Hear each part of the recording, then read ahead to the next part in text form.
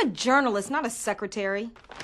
An advice columnist. Whatever. Meet Traci Townsend.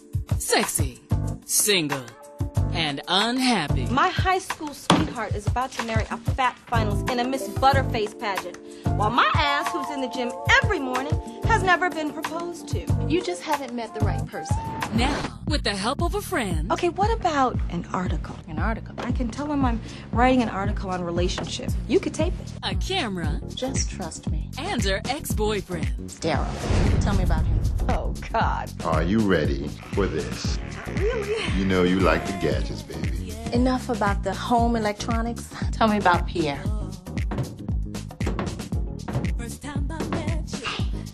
Well, he had some good qualities. Tell me about Dante. Dante was really good looking. Problem was that he knew it. All night long. She's the Michael Jordan of sex. Whoa, whoa, whoa, hold on, hold on, hold on. Hold on, baby. Just let's slow it down. Yeah, well, the last thing I'm looking for is respect when I'm trying to get some.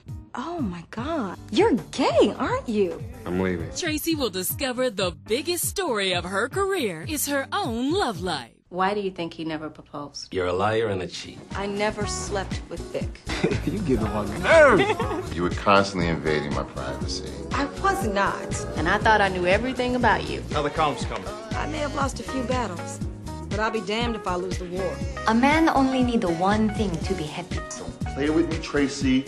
Where are my pornos? Much better. This isn't exactly what I had in mind. I mean, maybe meaningless sex is the best I am ever gonna get. If you don't respect the game, you might get played. Jazsmin Lewis, Mari Morrow, Victor Williams, and Richard T. Jones. You know, I've taken a look at my past behavior and, and I've changed for the positive. I'm sorry.